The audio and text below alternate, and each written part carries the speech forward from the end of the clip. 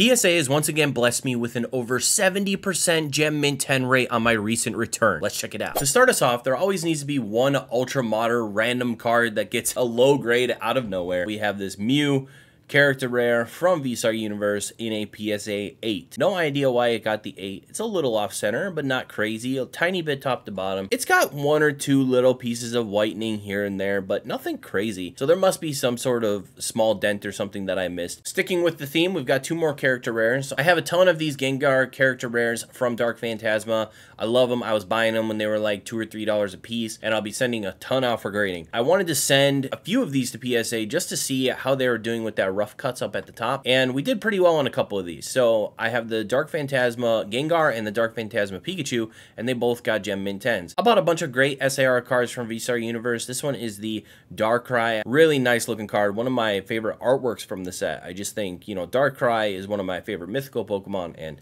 this was a really nice artwork of Darkrai. Next up, we got Raikou. Rest in peace, buddy, with that terrible paradox, long neck, whatever they're doing to you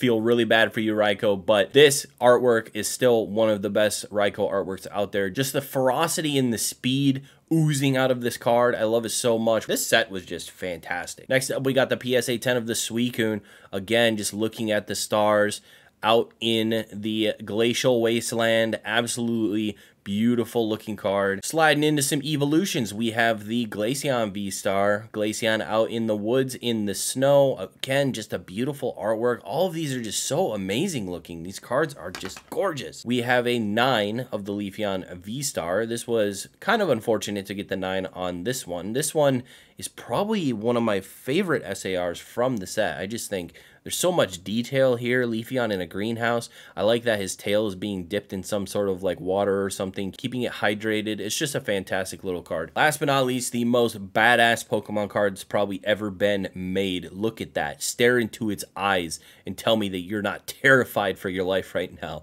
Lucario V-Star. What an amazing, amazing card. What a perfect choice for the ETB promo as well. I love this card so much. Lucario, definitely up in like my top 10, top 20 favorite Pokemon. This artwork of him is just so badass. We went from ultra modern character rares to ultra modern SARs from V-Star Universe, now to Sun and Moon tag team cards. We've got Gengar and Mimikyu GX from Tag Bolt. This one got the 9. I thought I had a chance at the 10, but maybe the centering. I feel like they're pretty harsh on the tag team centering. I could be wrong though. I feel like I've gotten 10s where it's looks pretty dang off center. And then I've got nines where they seem super strict on things. Gengar, Mimikyu, what a pair. Gengar and Mimikyu, both fantastically popular Pokemon. They have lots of fans. Next up, we have a couple of Rainbow Venusaurs. So I kind of had these ones sitting around. Didn't think I would grade them. Wasn't sure if they would get the 10 or not, but they both got the 10. So that's awesome. We got the Venusaur Celebi and the Venusaur Snivy. And two more tag team rainbows for you. We've got two of the Espeon Deoxys, both in PSA 10. Obviously an evolution and a legendary.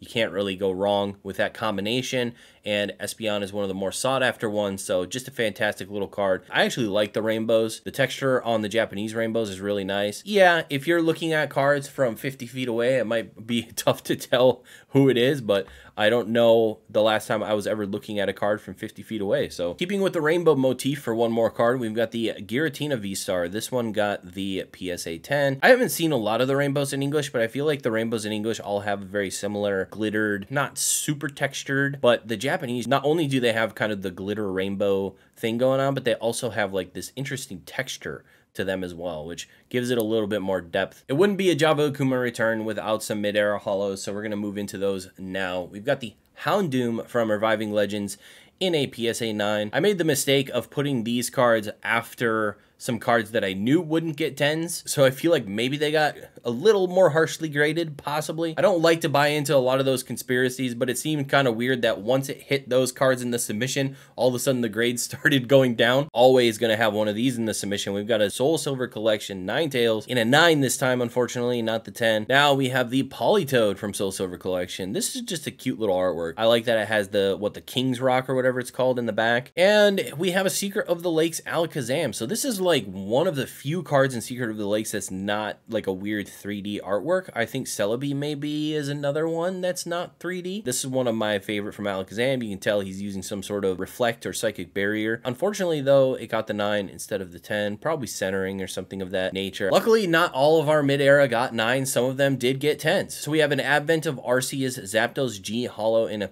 PSA 10. Shout out to the Green Shiz, the ultimate Zapdos collector. Really cool looking Zapdos, really cool looking card. Next, we got the Ho-Oh from Shining Darkness. This one got the PSA 10 as well as the Lugia from Shining Darkness. Now, I have a, a, couple of these that have gotten 9s and 8s, but we finally nailed the 10 on both of these, and they're both unlimited, which is really cool. I'm not sure what the difference is in the pop, but typically in the mid-era, there are some sets where unlimited is a lot harder to come by than first edition. Now, I don't know if they sell the same way. I think people, especially in the West, they see first edition and they think rarer. So it's a little hard to convince people that like, oh no, the unlimited version is actually more rare. Over here, first edition is more rare, more sought after in the earlier sets, and we didn't have first edition when it got to these sets. Whereas in Japanese, there was no first edition, and then all of a sudden they started getting first edition in like the E series sets. So it's a, it's kind of a flip flop situation. Last but not least, I sent two of these Blastoise out, and luckily they both got tens. Now the top to bottom centering on both of these is pretty off. Pretty happy that they both still secured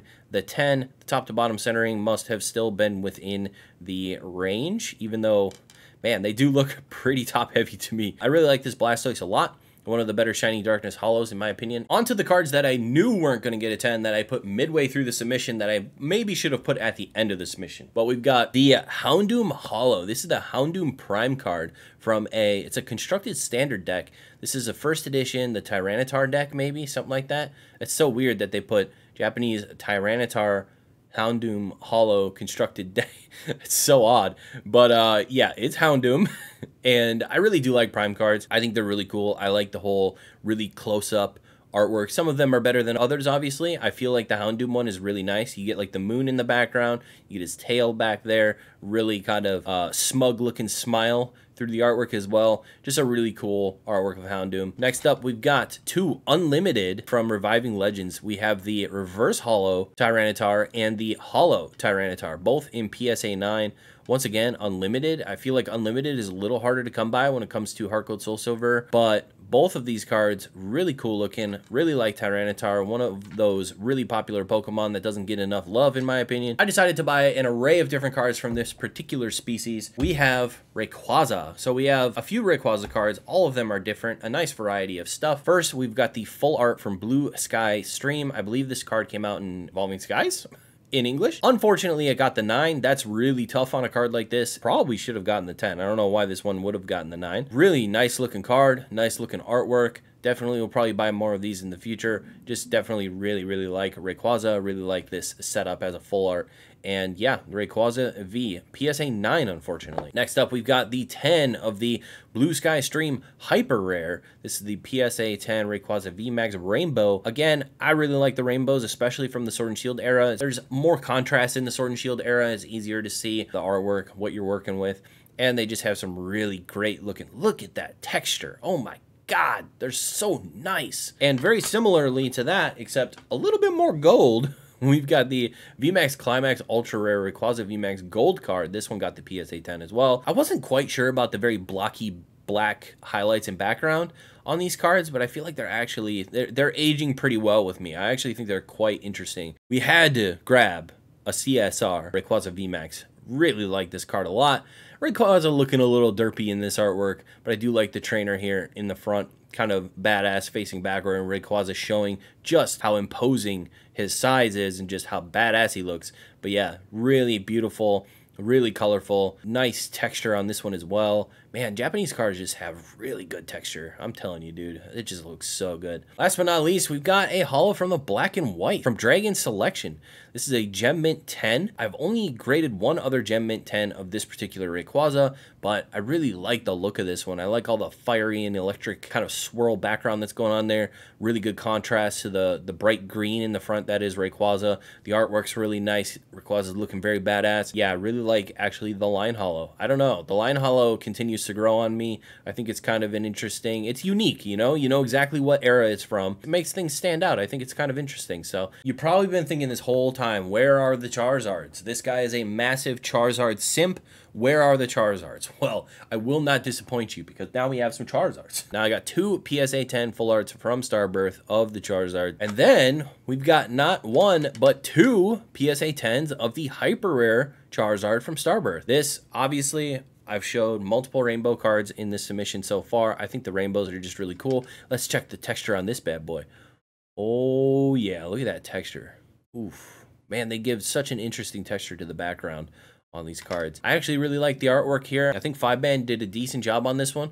I think the rainbow actually makes it look a little bit better than the regular V-Star. Once again, a black and white Charizard. This is from Freeze Bolt. I think this is my first PSA 10 of this particular card, and it's unlimited. I don't know really what the pop difference is on that, but that unique Lion Holo, that awesome Freeze Bolt Charizard artwork, looking really good. Looks like he's uh, firing off a fire spin or something at an enemy. Very awesome looking Charizard card. We've got one card left though, and that card is a card that I've graded a lot of. We have the Charizard Holo from Advent of Arceus. This one is first edition. This one got the PSA 10. I have graded quite a few PSA 10s, quite a few PSA 9s. I've done quite well on this card over time, and I continue to do decently. And this card is just awesome. It's a Himeno artwork, very cool looking, and PSA 10 Gotta love it. If you guys love PSA returns, make sure to check out this video where I got three cards back worth over $1,000.